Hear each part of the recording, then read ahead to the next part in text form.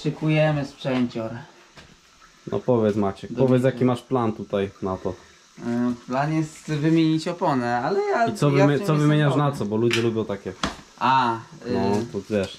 opona CST Patrol na Jack Rabbit, czyli taka tr- z mniejszym bieżnikiem. Tak. Taki, a taka szybsza, lżejsza tak. opona.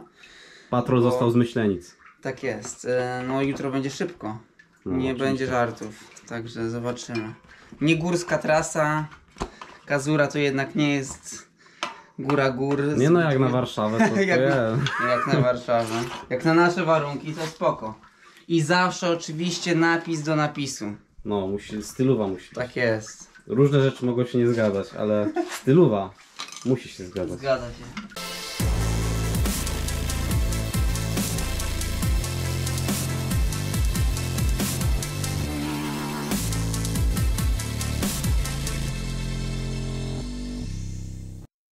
Siemanko, jesteśmy w Warszawie i dzisiaj mamy tutaj kolejny wyścig Puchar Polski przy okazji z rangą UCIC3.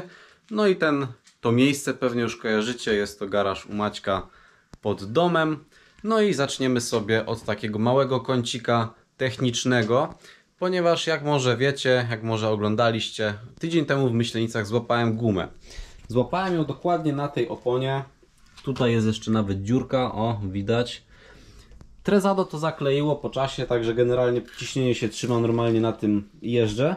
Natomiast trzeba w związku z tym zrobić jedną bardzo ważną rzecz. No i zobaczcie, otworzyłem sobie tą oponę z jednej strony, żeby zobaczyć co tam się w środku dzieje. I w sumie tutaj jeszcze nie jest tak źle, bo tego mleka sporo zostało, ale to co chciałem Wam pokazać to jest fakt, że zawsze, zawsze jak używacie uszczelniacza do opon, to on po pewnym czasie odkłada się tutaj po oponie w postaci takiego osadu i to jest proces, który no po prostu zawsze się dzieje szybciej lub wolniej. I bardzo ważna uwaga dla osób, które być może niedawno przesiadły się z dentek na opony tubeless, planują się przesiąść, czy też może jeżdżą od dawna, ale nie wiedziały, nie miały takiej świadomości. Słuchajcie, to nie jest tak, że wy sobie zalejecie oponę uszczelniaczem jakiejkolwiek marki i będziecie na tym jeździć dwa sezony, czy nawet cały sezon. Nie, niestety wiąże się to z tym, że po prostu raz na jakiś czas trzeba sobie taką oponę otworzyć i zobaczyć, co tam się w środku dzieje. A już na pewno trzeba tak zrobić, kiedy wiecie, że na przykład złapaliście gumę i wam to zakleiło, bo też to mleczko wtedy naturalnie, że ucieka. Dlatego ja sugeruję właśnie, żeby najdalej co tam dwa miesiące, myślę, jeżeli ktoś do tego rozsądnie podchodzi, zrobić taką kontrolę, najlepiej właśnie przed jakimś liczącym się dla Was startem, jeśli się ścigacie.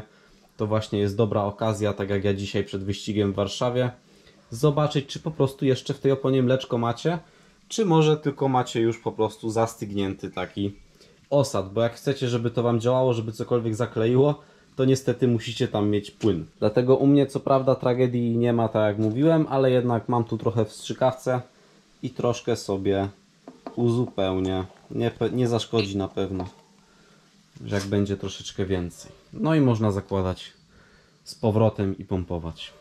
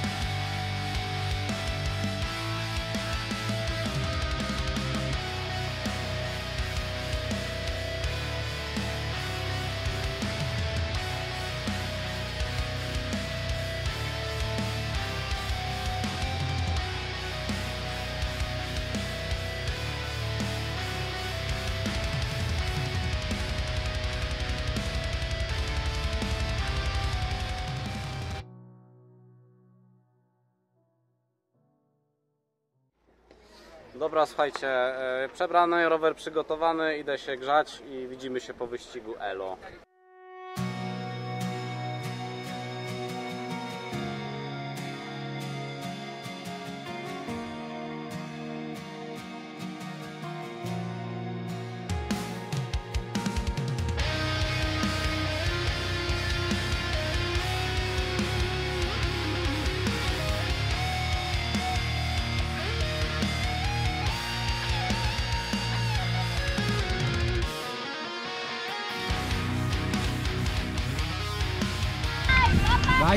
Dajesz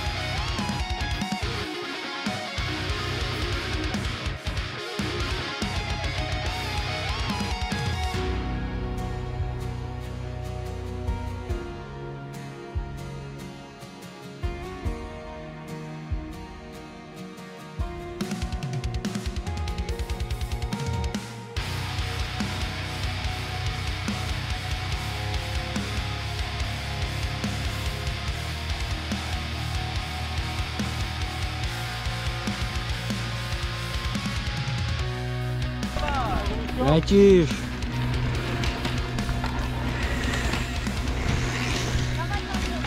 Dajesz jezior! Dobrze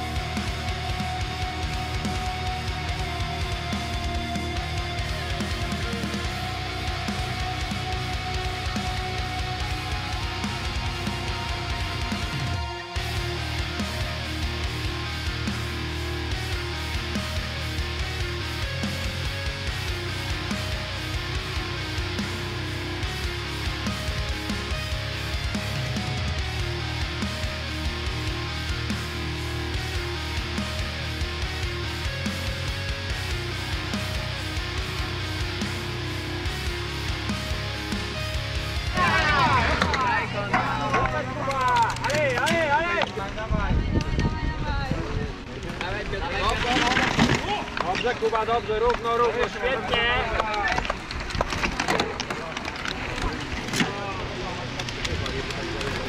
Dajesz Michał, pięknie jest!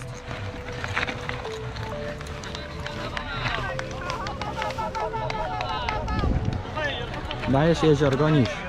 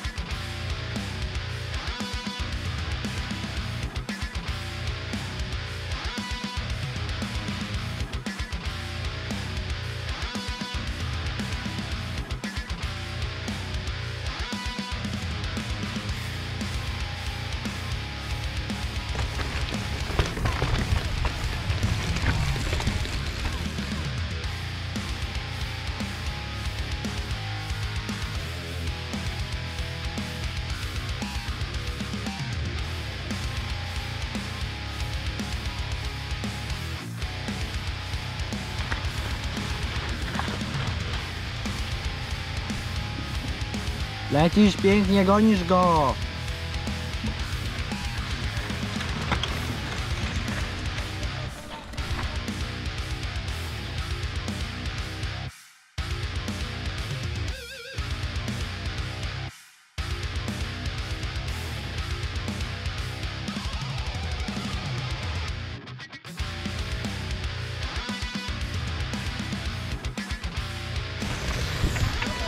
Lecisz go, gonisz!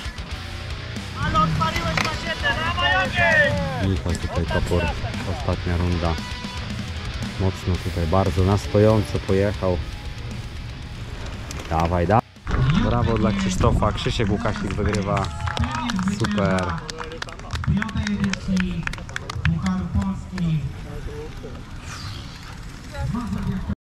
Najlepszy kolarz wśród youtuberów. O, jest Michał Topór. Podsumował. Dzisiaj to, to czułem, że mi się fajnie To jedzie. na jeziora to przeszło po chwili, bo widzę. Tak, bo jechał mocno, jechał, jechał i, i przeszło na niego. Tak to jest z tymi młodzikami, się przypalają. Tu trzeba na spokojnie. Na spokojnie, tak, od spokojnie. początku. Nie no, ta 8 rund to dało swoje tutaj, widziałem, Znaczy że... wyścig w sumie nie był długi, no ale w głowie się kręci. Jak jest tyle okrążeń. No więc taki wyścig wyszedł, ostatecznie piąte miejsce w elicie i zrobiła się z tego naprawdę fajna walka z Maćkiem, z moim własnym trenerem. Zmienialiśmy się tam kilkukrotnie, słyszałem gdzieś tam przejeżdżając przez linię mety, jak bardzo się wszyscy z tego cieszyli. Tam speaker cały czas tylko o tym opowiadał, jak to topór i jezior nierozłączna para. No ale szczęśliwie dwa ostatnie kółka gdzieś tam mnie puściło, a Maciek miał troszkę cięższe. No i udało mi się odjechać, przyjechać przed nim, także taki plusik, że nie przegrałem z własnym trenerem. Fajne ściganie, e, mimo że nigdy nie jeżdżę mocno na tej trasie, to, to nie jest zdecydowanie trasa pode mnie, tam nie ma po prostu za bardzo techniki. Jest tylko taki uklepany beton, parę, parę muldek i nie ma kompletnie gdzie odpocząć, więc to zdecydowanie nie jest taka charakterystyka pode mnie, więc tym bardziej się cieszę z tego piątego miejsca i że udało się po prostu pojechać w miarę, w miarę solidny wyścig. E, Fajne nagrania, jak widzieliście, z troszkę innej perspektywy z drona. Kazura idealnie się nadaje e, na drona. Także dziękuję bardzo Pawłowi Zielińskiemu, że podesłał mi nagrywki, bo myślę, że no fajnie to wyszło. Trzeba przyznać, fajnie to wyszło. Może w przyszłości się jeszcze uda więcej tego typu treści zrobić.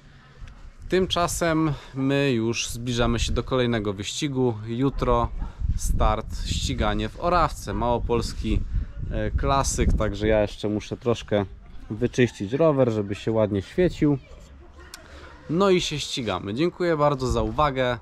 Pozdrawiam wszystkich patronów. Jeśli chcecie także dołączyć do tego grona, wesprzeć mnie, no to zapraszam na Patronite'a. Wszystkie linki macie w opisie, wszystkie i do tego, i do jakichś tam opon, y, kół, do roweru. Także jak Was takie rzeczy interesują, to pod każdym filmem macie podlinkowane okulary tego typu rzeczy.